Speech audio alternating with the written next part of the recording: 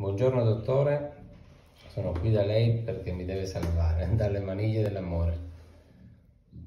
Ecco qua. Con questo? Ok.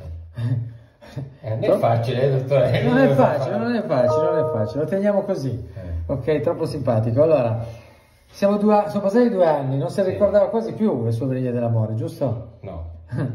Quindi abbiamo ripescato le foto di due anni prima, dove abbiamo fatto la liposuzione con appunto l'idea di andare a togliere le maniglie dell'amore, come ha chiamate lui, c'è questo accumulo di tessuto riposo nei fianchi e sicuramente anche ridare un pochettino di, di forma dell'addome.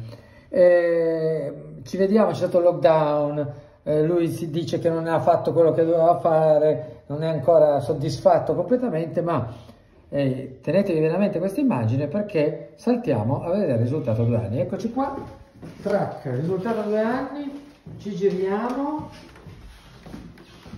Come vedete le maniglie dell'amore non ci sono più, non ci sono più, anzi cerchiamo anche le piccole cicatrici, non si vedono, non si vede praticamente nulla di cicatrici eh, particolari, quindi quello che succede è anche questo che torniamo davanti, quello che succede è che questo tipo di intervento chirurgico non dà eh, cicatrici importanti, cerchiamo pure, non, vedete che non se ne vedono.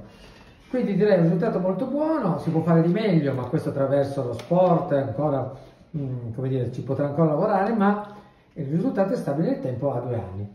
Come tutti i nostri pazienti chiediamo se lui è rimasto contento di fare il nostro solito gesto. Doppio, un caro saluto a tutti.